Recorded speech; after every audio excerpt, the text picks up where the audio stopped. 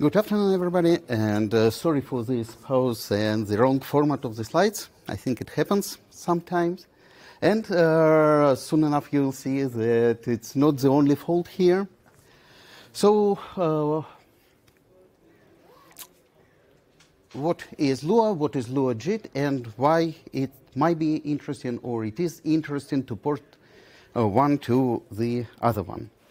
First, a few words about myself. And as you've already seen, I'm not really a software developer, so I know not so much about the software and spent last quarter century developing hardware where the software is usually runs on.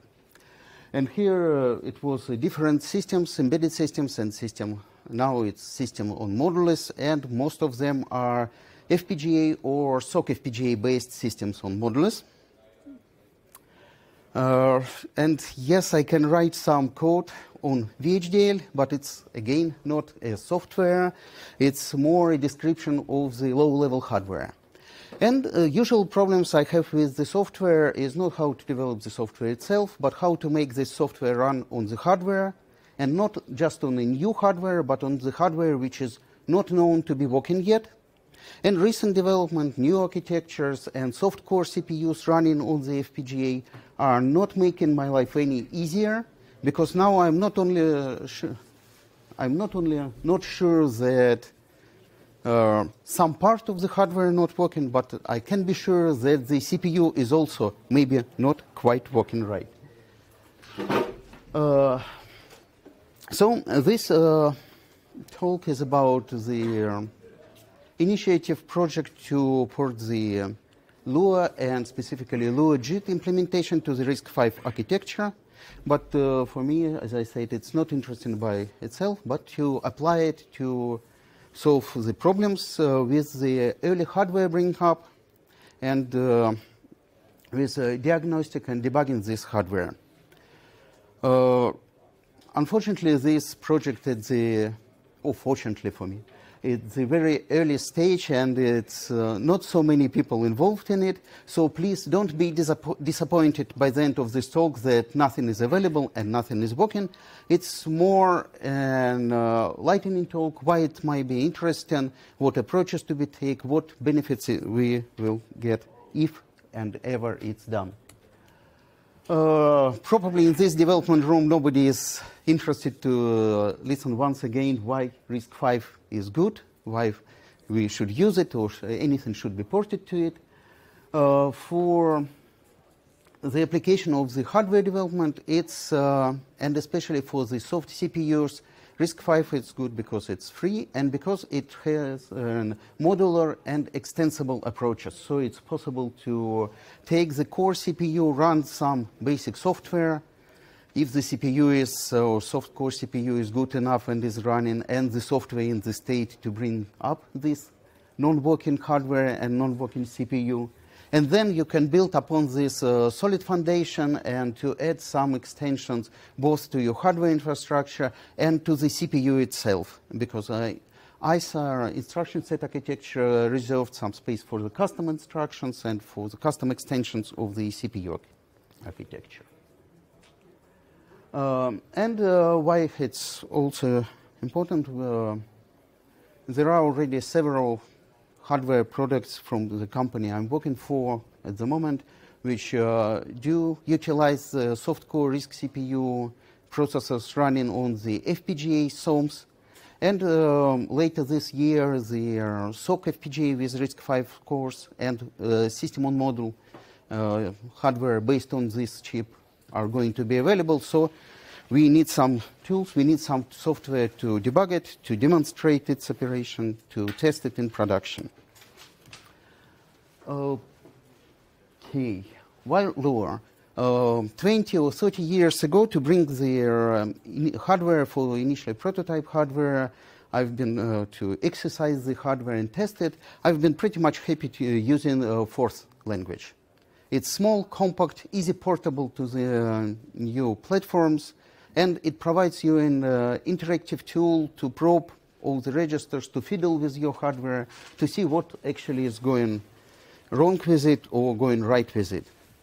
Uh, nowadays, I think not so many people are writing any Forth, um, even less are using it in production environment.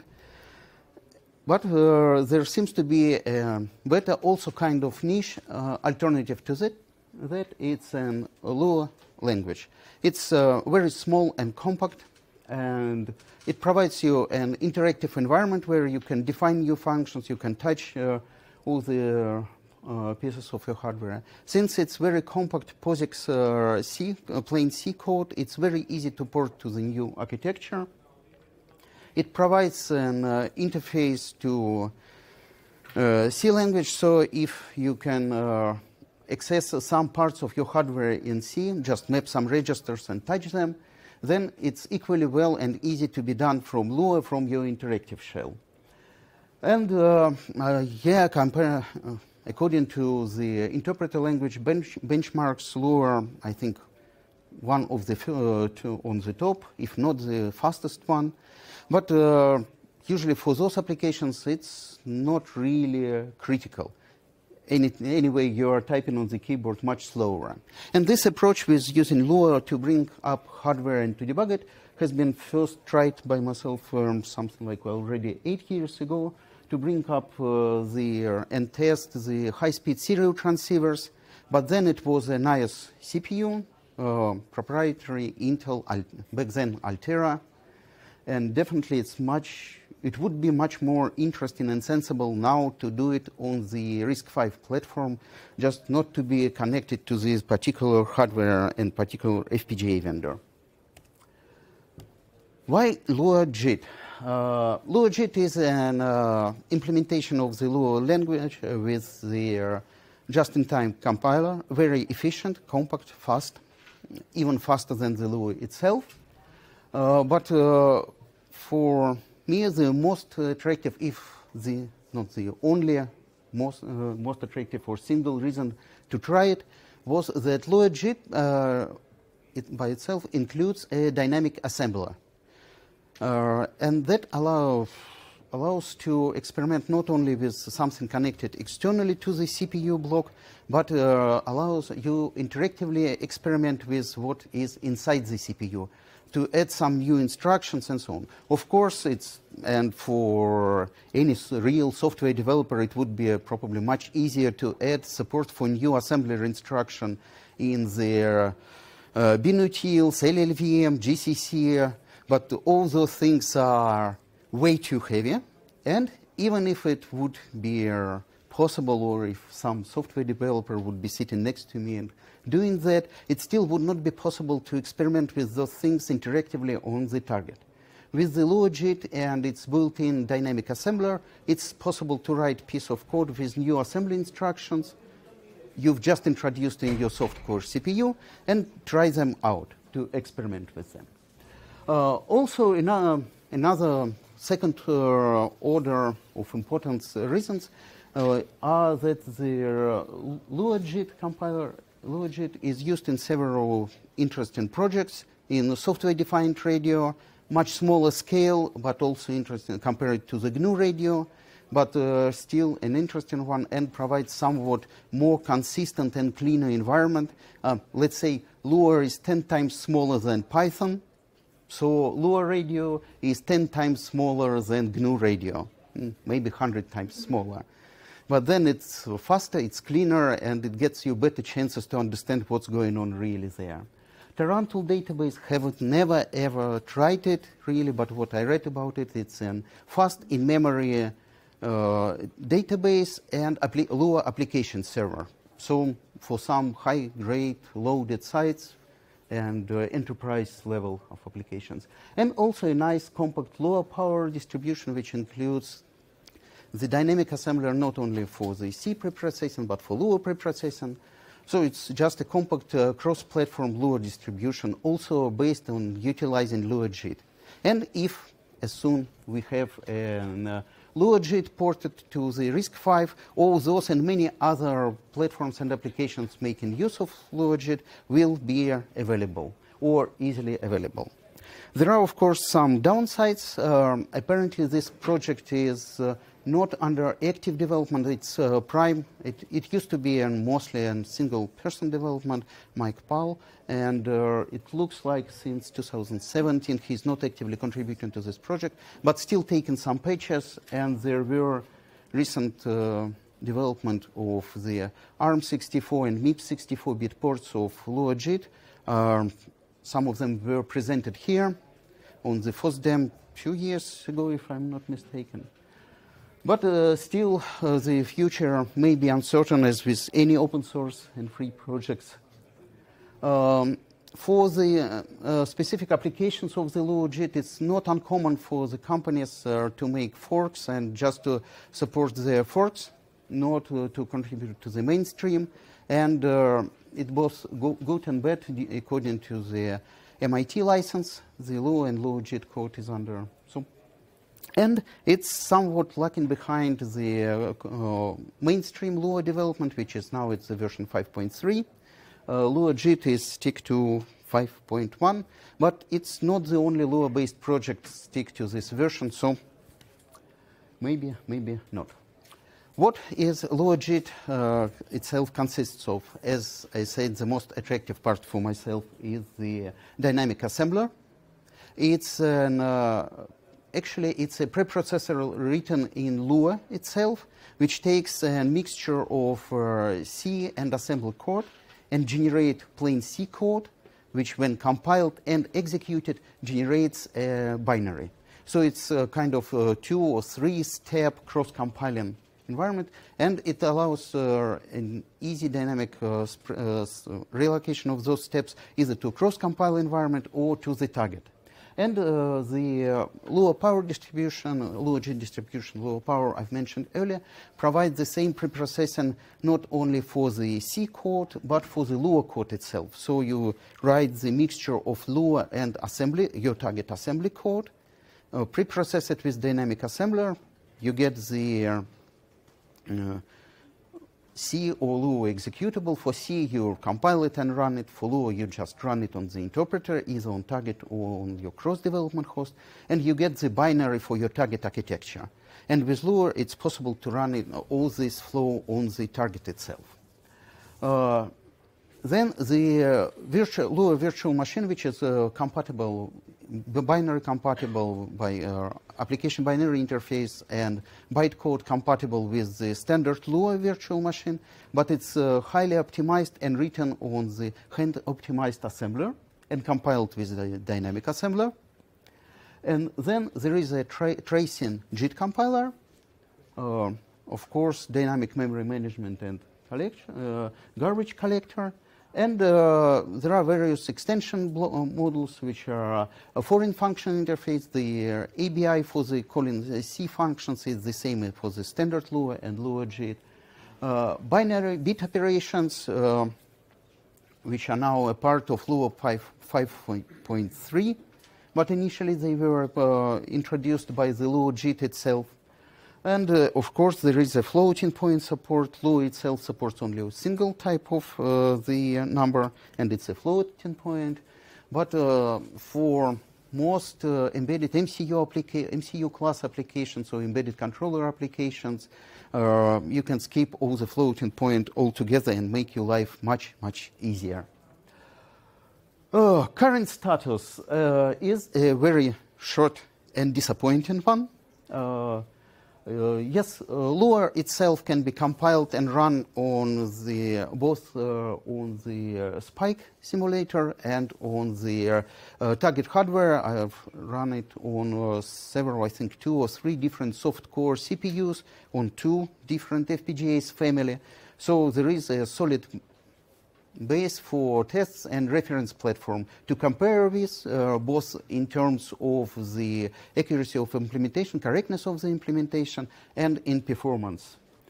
Uh, Git repository fork uh, changes, uh, makefile changes to support the new architecture and build environment. So just the basic uh, initial steps. Uh, then the Git repository contains the, all the instructions from the base 32-bit integer set not much more than that. Uh, it's just 48 instructions, if I'm not mistaken. Uh, uh, all the assembler, macro assembler stuffs, uh, such as the registers renaming and handling, uh, immediate uh, arguments and labels, relocation handling is work in progress. So pretty much nothing is working. And uh, everything else, or I would say 95% of work, is still in the long, long running to do list. So if anybody is willing to join it and contribute to it, then you are more than welcome, either to fork it yourself or to send patches. Uh, as I said, the to-do list is much longer than the current status list, so what remains to be done is pretty much everything no need to repeat that. But much more interesting where we go from here, when it's ready and when we have this basic core system is working. Uh, and those stuffs are really interesting. Unfortunately, we have to go through the porting and laborious efforts before we there. Uh, RISC-V uh, Foundation reserves the J extension specification for the uh, exactly for the JIT compiling languages. Oh. The question is uh, that what languages are currently heavily are heavily using the JIT compilation. Mm, the most heavyweight player, I would say, are Java and JavaScript. Um, not sure, maybe C Sharp. And obviously, because behind those uh, languages, those environments, there are huge corporations with a lot of software, hardware developers, and some budget behind. Uh, definitely, they will try to shape this RISC-V uh, extension through the foundation, through their contribution. I'm pretty much sure that they're not aware of any efforts, but pretty much sure that there are efforts uh, to support JIT compilation on RISC-V for all those things. But uh, so the question is uh, who and in what direction will shape this J extension of RISC-V architecture when uh, Foundation starts to work on it. And having a really smaller, li lightweight LuaJIT implementation might be an interesting test bench, and it would be great to have it before the extension itself is uh, specified. So we can see if and how it compares to it. Then, of course, because uh, we can change not only the hardware but the CPU itself and do it dynamically or almost dynamically, it would be interesting to experiment with the different hardware-assisted techniques for the JIT compilation to detect hot traces because the LuaJIT compiler is uh, analyzing the execution thread of the vir virtual machine at runtime and compile the hot paths in this machine and JIT compile hot paths and uh, some execution counter, performance counters in the CPU may be helpful to provide this hardware assistance for the hot trace detection. Same goes for the uh, uh, memory management and garbage collection with the hardware assistance for it. Then the thing which is really interesting is the, some custom and uh, target uh, application-specific acceleration development. And in this case, uh, once again, the dynamic assembler would provide a very uh, comprehensive and useful uh, test and evaluation test and prototype platform because you can just specify the new uh, assembler instruction on the interactively on the Lua level and have it immediately compiled uh, and have the binary code compiled in it uh, and directly on the target. So if not in production environment and when this everything is committed to the silicon, but for the soft core CPUs and interactive development and debugging of those functionality, that would be really interesting. And since I've already mentioned that uh, 30 years ago, Forth was a language of choice for such experiments, there is nothing that would prevent to write another Forth on the assembler, on the dynamic assembler of LuaJIT, and then once we have an interactive Forth shell, it takes just uh, two or three screens to write a new assembler on this Forth. Uh, and it looks like I'm going in the loops now. so uh, thank you for your attention. And if you have anything to contribute, any questions, please feel free to contact, to download, to scan. Thank you.